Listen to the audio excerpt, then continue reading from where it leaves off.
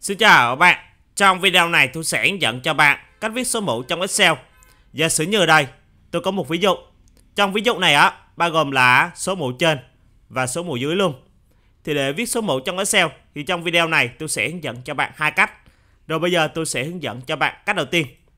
Cách đầu tiên á, để viết là x bình phương thì các bạn chúng ta sẽ nhập là x2 này.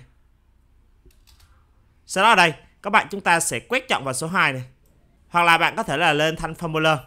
Chúng ta quét chọn vào số 2 ở đây. Tiếp theo các bạn chúng ta sẽ bấm phải chuột, chọn vào format cell này. Tiếp theo ở đây, một hộp thoại format cell nó sẽ xuất hiện ở trong nhóm phong. Các bạn để ý ở time nha. Tôi bấm vào super superscript này. Thì chữ time á nó sẽ di chuyển lên trên. Chọn vào OK. Đó như vậy là tôi vừa viết số mũ trên này. Rồi bây giờ tôi tiếp tục cộng y. 3 rồi, để viết số mũ dưới á, thì chúng ta sẽ quét chọn vào số 3 này. Chọn vào ô đầu tiên. Sau đó quét chọn vào số 3 trên.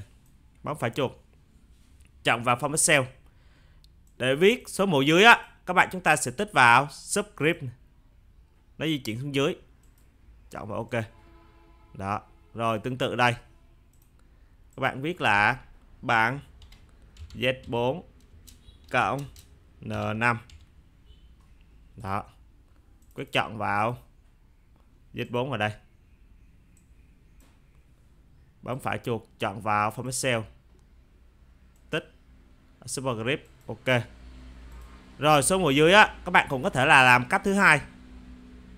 Chọn vào ô viết dữ liệu, quyết chọn vào. Và tấp phong. Trong nhóm phong á, bấm vào một tên chéo chỉ xuống này. Đây là cách thứ hai nha. Sau đó các bạn chọn vào script ok. Đó, thì nó sẽ giống so với ví dụ trên.